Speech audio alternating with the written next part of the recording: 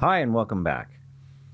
Now that we have a good understanding of non parametric measures of association and understanding how to test hypotheses using the chi square statistic, we're going to move on and we're going to talk about independent variables that are dichotomous and dependent variables measured at the ratio and ordinal level.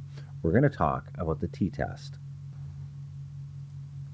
First, we're going to describe what is a t-test and when to use a t-test. We're going to look at the t-test formula specifically and how it's calculated. Then we're going to walk through the entire calculation for the t-statistic using an example problem and we'll summarize everything that we've done as we always do. Okay, so let's start by looking at our research hypothesis classification template. And we've learned a variety of things with the chi-square statistic and our measures of association with tau b and with gamma and Cramér's v and phi. The t-test deals with one specific box within our classification template where our independent variable is dichotomous and our dependent variable is at the interval or ratio level. And it's because our dependent variable is measured at the interval slash ratio level of measurement, if we think to univariate statistics, we think some of the best statistics that we can generate for an interval or ratio level measurement include things like means. And as we break a dependent variable at the interval ratio level into subgroupings, we can now compare means. So the t-test is a comparison of means, and it determines whether the differences in means across these two subgroups are in fact statistically significant. Remember, when we break things into groups of two, we're creating dichotomies, and anything can be turned into a dichotomy. There are naturally occurring dichotomies, of course, for example, male female. But many dichotomies are artifact dichotomies, things that we create. We decide that we establish an experimental condition and we define a success for our experiment.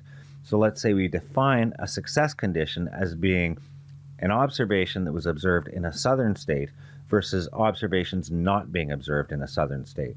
We impose this regional dichotomy, southern versus non southern. Or you can do the same thing with party identification. You can say our success condition is defined as every observation who's self identified as being a Democrat. And our fail condition is all those observations who've not self identified as being a Democrat be they Republicans, independents, or whatever.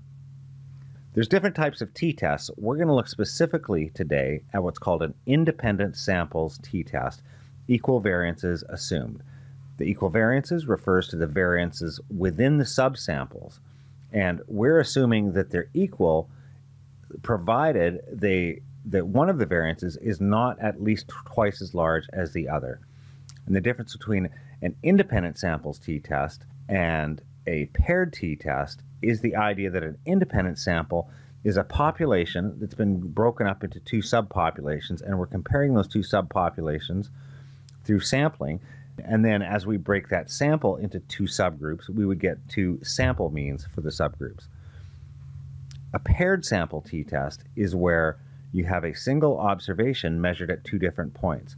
So, for example, let's say that there are participants in a drug trial who have their blood pressure measured at time one, and then they take a blood pressure medication, and you measure their blood pressure again at a time somewhere after the, the medication has taken effect. And you're asking yourself, is the average blood pressure greater at time two or at time one?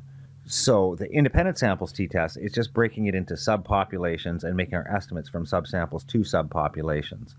And a paired sample is the same observations being measured at multiple times. When to use a t-test, we want to conceptualize our variables are drawn from one population and from one sample. We have our dependent variable, again measured at the interval or ratio level, and our independent variable that's a dichotomy that we now conceptualize as being two different subsamples. So imagine as you look at these curves that I have here that the black line indicates a single sample. And the categories of the independent variable, the two categories, are then broken apart.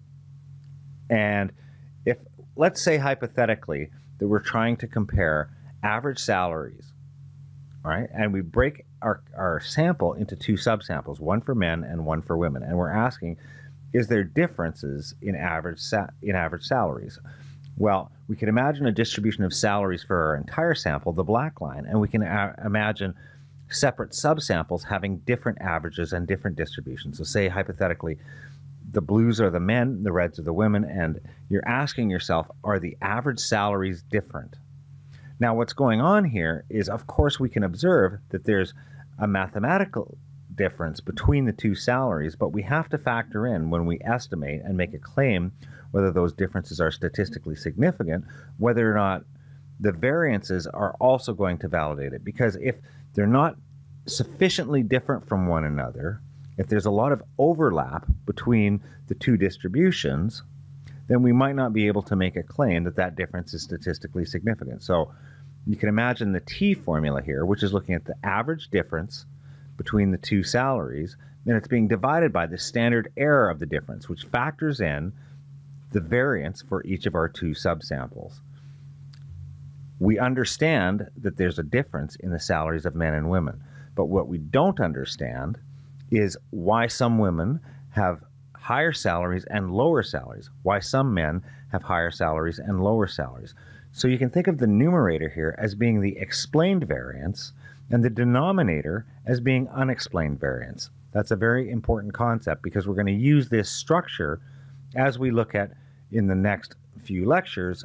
We look at interval by interval relationships with R squared and regression, and as we look at nominal and ordinal by interval ratio, and when we look at ANOVA, we're always going to be looking at explained variance in the numerator and unexplained variance in the denominator. So our t statistic is calculated simply by dividing the distance between the two subsample means by the standard error of the difference between those means. Thought of another way, it's the explained variance to unexplained variance ratio.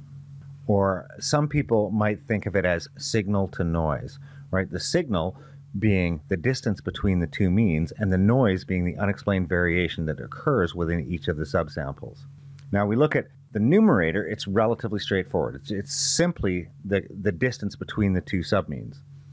But the denominator looks like it's complicated. The standard error of the difference in means has this very apparently complicated formula, but on further inspection, you'll realize that it's actually not that complicated because what's going on here is we have the sample sizes accounted for several times as we make our calculation.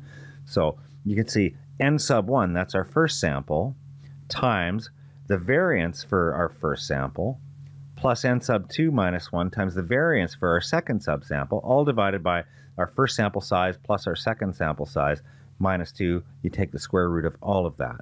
That first chunk of our equation is then going to be multiplied by the square root of our first sample plus our second sample divided by our first sample times our second sample.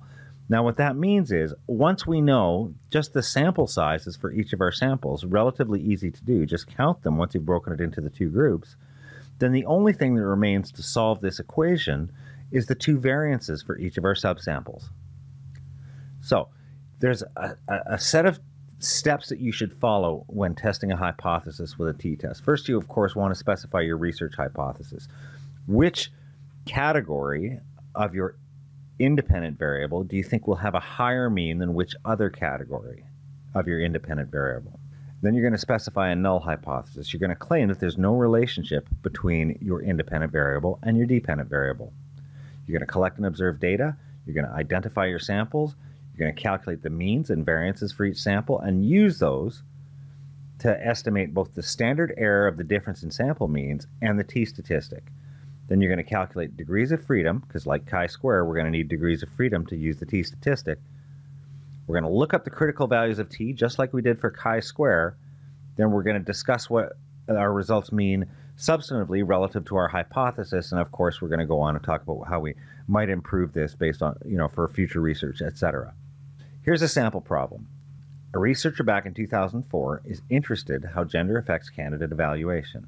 Examining George W. Bush, the researcher contacts seven women and eight men and asks what things, up to a maximum of five, that they like or dislike about George W. Bush. Now, they might like his foreign policy, they might like his position on education, but might dislike his position on highways or dislike his overuse of a helicopter, etc., etc. They Take up to five of these things, and if someone likes five things and dislikes nothing, then they get a plus five. If someone dislikes five things and likes zero, then they would get a negative five. And eh, so it goes. So if they like three things and dislike two, they would get a positive one, etc. So we get a scale that runs from negative five all the way to positive five. Your first task, of course, is set up your research hypothesis, which might read something like men are more likely to rank George W. Bush higher on the like scale than are women, which you can see here is like saying that the mean for men is expected to be greater than the mean for women. And we also, of course, have to specify a null hypothesis, which is saying that there's no relationship between gender, our independent variable, and the number of likes and dislikes for George W. Bush. Or essentially, we're saying that the mean for men is not going to have a statistically significant difference for the, the uh, from the mean for women. Good. Okay, so the third step, we're going to collect our data, and then we're going to identify our two subsamples. So we have our 15 observations that we've divided up into two subsamples, one for men and one for women. And with that, we're then going to calculate the means and the variances for each of our subsamples and recall the formulas for the means and the variances. Now, you can set this up just as you've done in your univariate statistics, where you just add up the, the, the value of the observations for males and divide by the total number of observations. So the males add up to 14, divided by 8, we get an average likes dislikes for George W. Bush of 1.75. We do the same thing for females. We add up the value of x, which in this case is the average likes and dislikes. So, you know, our ninth observation, our first female on on balance liked one thing about George W. Bush. Our second observation for females, or our tenth observation overall, disliked five things about George Bush, etc. We add them up, that comes to minus four. Divide by our number of observations, seven, and that gives us an average likes dislikes for females of negative 0.57. So on average, a typical female was slightly negative towards George W. Bush. And we can in fact see that the average male of 1.75 and the average female of negative 0.57, there is a difference there. And in fact, it's the difference that we had predicted. Males do like more things on average than do women about George W. Bush back in 2004. We use our means, of course, to calculate our variances. Remember, the variance is just the sum of the all the observations of your uh, variable, whether males or females, the, the likes that they have, minus the average likes squared divided by n minus 1. And you just work your way through the calculation. So you do the x sub i minus x bar. So for example, for our first observation of males, we have uh, about for x, we've got negative 1. We subtract our mean of 1.75. That gives us negative 2.75. When we square it, 7.56 etc. We do that for every observation, and when we sum that column, we get our sum of squared errors for males, which we then divide by n minus 1. So we divide the 47.5 by n minus 1, n is 8, so divided by 7 gives us a variance for males of 6.79. And the same thing for females. You add up all the calculations, you get a sum of squared errors for females of 47.71.